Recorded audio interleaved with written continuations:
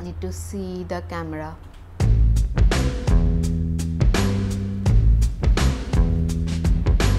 Berlin is magical.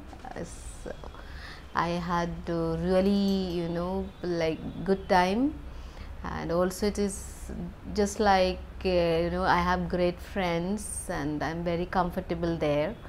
And interestingly, I was just doing a project uh, with uh, Jia.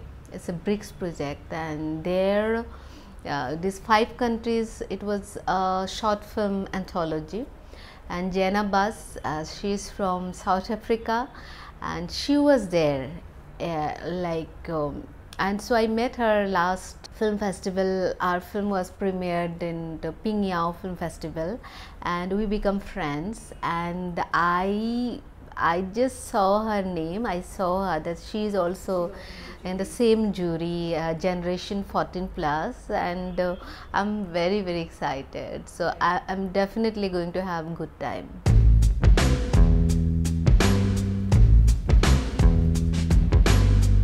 Interestingly with me my first film Man with the Binoculars it was about a 65 years old uh, retired geography teacher it was and i don't know like at that time how it came to my mind but when i was in my village away from mumbai because i'm in mumbai for like quite couple of years and when i was there i met uh, uh, like uh, village children. Then i just uh, i just like kind of I just felt like working with them. And when I started working with them, what I realized because when I was making my first film uh, during that time, because I'm a newcomer, I felt like there were lots of questions in the eyes, uh, like uh, my crew member, actors, you know, when you are newcomer and you are woman, then there was doubt in their eyes but when i was working with children i love children because they are so innocent they are so transparent and they completely surrender you know they trust you. And when someone trusts you you feel good you know you feel more confident. And that's how i'm very comfortable with children. And that the same thing happened when i was doing bulbul. But it was not because like uh, children trusted me. That's the reason i i decided to work with uh, uh, like teenagers.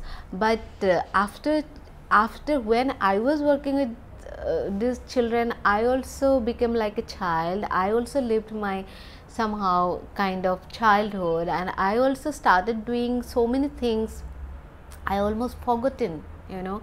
With the children i was enjoying rains and everything. And later on then i i thought like what is next?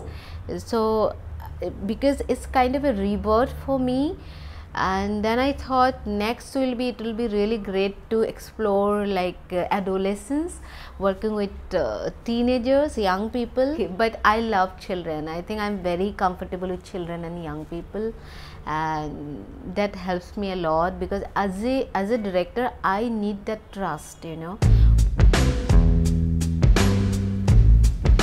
an independent filmmaker or producer because I produce all my three films.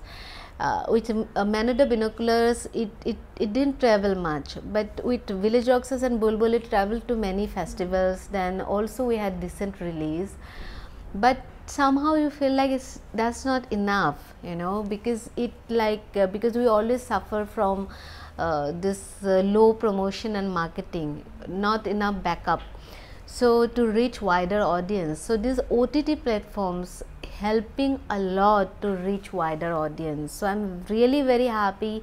Lots of people writing to me uh, because they didn't get uh, you know to watch uh, bulbul can sing and village rockstars and i'm i'm really happy